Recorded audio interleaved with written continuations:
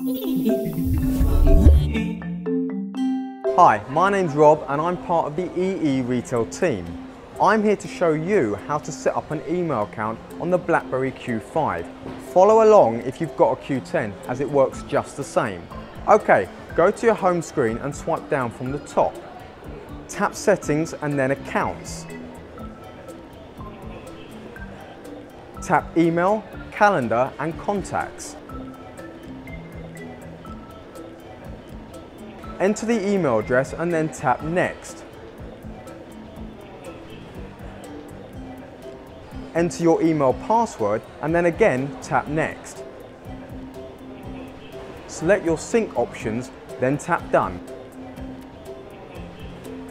And that's it. Your email account has all been set up and you're ready to go.